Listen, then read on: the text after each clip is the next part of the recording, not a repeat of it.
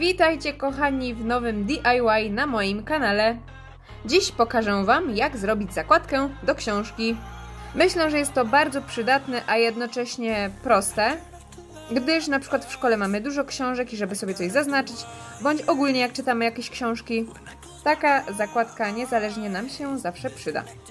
Ale nim kochani przejdziemy do krok po kroku, poproszę Was o zostawienie łapki w górę pod tym filmikiem, kliknijcie tam na dole oraz oczywiście zostawcie suba na moim kanale, zachęcajcie innych. Ja Wam z góry za to bardzo, bardzo dziękuję. A tu na dole będzie pasek z moim adresem, właśnie tam możecie do mnie wysyłać paczki, listy, co tylko chcecie oraz prace konkursowe, przypominam o konkursie e, i będzie podany również mój Instagram, na który serdecznie Was wszystkich zapraszam. A teraz przejdźmy do samej zakładki. Będzie nam potrzebna tylko kostka papieru. Może być to papier jakikolwiek chcecie, czy we wzorki, czy taki gładki, może zwykły biały. O wymiarach 16 na 16 cm. I teraz bez zbędnego przedłużania zaczynajmy. Na samym początku wykonujemy oto taką czynność. Składamy tą kartkę 16 na 16 na pół, na pół w taki sposób i przecinamy na miejscu zgięcia aby powstały nam takie dwa podłużne prostokąty. Jak już przecięliście, będzie nam potrzebna tylko jedna połówka. Teraz patrzcie krok po kroku.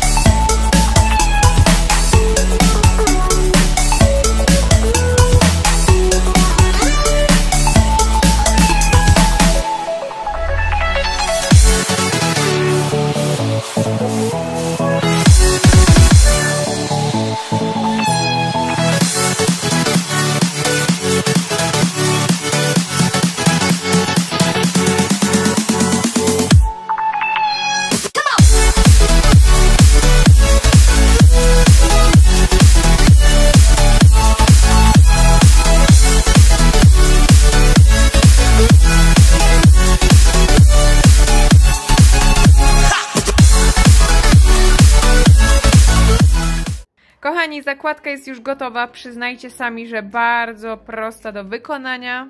Zaraz Wam pokażę, jak się prezentuje e, w książce. Bierzemy sobie książkę e, i tutaj mamy jeszcze taką kieszonkę jakby zrobioną w tym serduszku i to do niej pójdzie zaznaczona kartka. Zaraz Wam to zaprezentuję. Tak, chcemy sobie załóżmy tą zaznaczyć, więc teraz do tej kieszonki dajemy kartkę, dociskamy ładnie i gotowe. Teraz poprawiłam delikatnie, jak widzicie. E, bardzo ładnie tutaj mamy teraz e, zaznaczone, gdzie skończyliśmy czytać. Kochani, zachęcam Was do wykonania takiej zakładki. Jak już taką wykonacie, dodawajcie zdjęcia na Instagram, odznaczajcie mnie. Możecie sobie taką zrobić e, z każdego koloru papieru, czy to niebieską, czy zieloną, czy ozdobioną w kwiatki. Każda będzie się na pewno fajnie prezentować. A teraz kochani dziękuję Wam za obejrzenie tego krótkiego DIY. Mam nadzieję, że się Wam podobało.